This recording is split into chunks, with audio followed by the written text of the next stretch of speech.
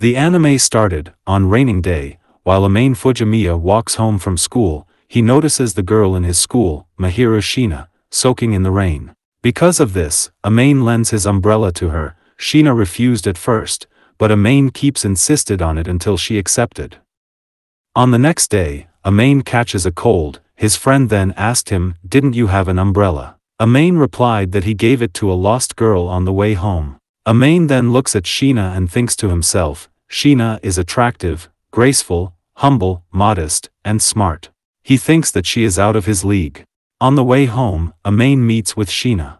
She wants to return the umbrella, but after seeing that Amane has a fever and is on the verge of collapsing in in front of his apartment, Shiina decides to help take care of Amane and make him dinner in return for lending his umbrella. Oh, by the way, they live next door to one another. After finishing eating, Amane asked Shiina, why is she sitting on that swing in the rain? He assumed that she has a fight with her boyfriend.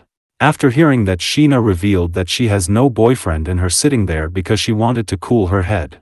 They both then agreed to keep their encounter a secret. One day, Shiina sees Amane eat a jelly drink for a dinner on the balcony, concerning about his health, she decides to keep giving him dinner from that day on. Amane refused it at first, but Shiina replied that she makes too much for herself to eat anyway. After that Amane keeps receiving dinner every day.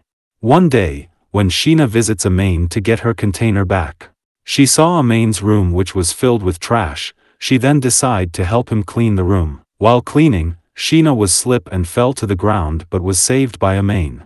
After finishing cleaning, Amane suggests that they should eat pizza for dinner today. It is revealed that Shiina's family is rich and she never gets to eat pizza before. Although this is the first time, she gets to eat the pizza, she seems to like it. The episode end with Amane asking Shiina for the second time, why she shares her dinner with Amane every day. She replied it was for her own satisfaction, she wanted to prepare food for people and also doesn't like the food that Amane eats.